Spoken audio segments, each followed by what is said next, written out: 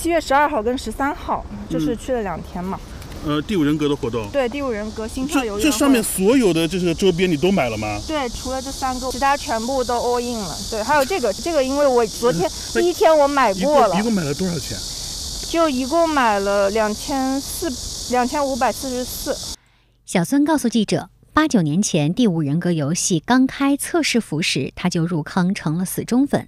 几个月前，他从游戏官方微博了解到。七月十二号到十四号，第五人格会在杭州国际博览中心举办一场心跳游园会。为了买到心仪的游戏周边，小孙下了血本。因为他那个每天只限量三千张门票，我为了去两天，我是闲鱼上找了代拍，专门加钱找人拍到的。哇，真的是特别喜欢这个。对，就是喜欢游戏啊，就是我我就是他们说的那种成一档，就是每一个都会买一个的。我是早上四点钟起床去排这个，为了买到周边，嗯，去排这个的，然后就是排到十一点多才到我。嗯，就就对，为了这这这这几个。对。支付记录显示，小孙七月十二号买周边时用支付宝支付了两千五百九十一元，十三号上午十一点三十四分左右又用微信扫码支付了两千五百四十四元。十三号在游园会现场买周边付钱时，他发现了一个问题。因为我当时看到这是一个个人的收款码，我就觉得很奇怪。因为我来的是网易官方举办的活动嘛，但是他看到一个个人收款码，然后我当时还专门备注了“第五人格心跳游园会付款”。一开始他是不同意给我开发票，他说你要找到网易的官方向他们去申请开发票。那我就说我我说那你这个活动都办到第二天了，你还这样子的话，那我要找税务局去举报了。他那个时候说他去打电话问一下他上级，他这个时候打了个电话，然后他就是说他加我的微信。微信聊天记录显示，七月十三号上午十一点三十四分，小孙加了对方好友，并发去了开票信息和联系方式。到了十九号下午四点二十二分，小孙询问开票进度，消息被对方拒收了。我发现我被他拉黑了。我想问一下，网易这么大一个公司，会让一个兼职的收款码放在？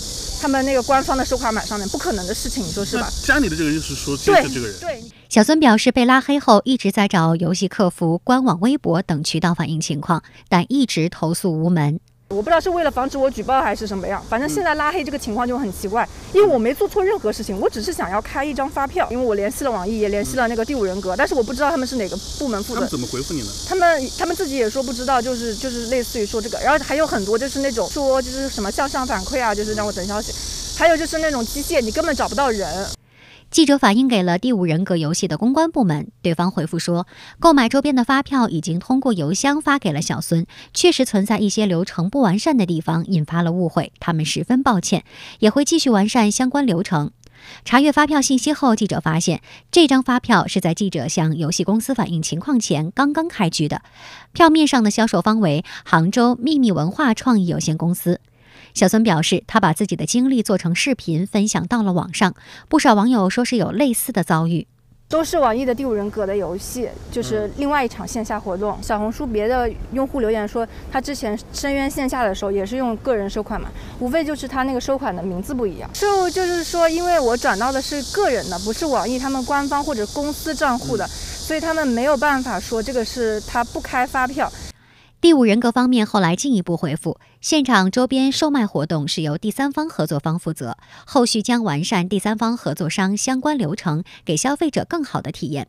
工作人员还转来了杭州秘密文化创意有限公司负责人的书面回复，也说这是因流程安排引起的误会，表达了歉意和对流程的改进措施。幺八幺八黄金眼记者报道。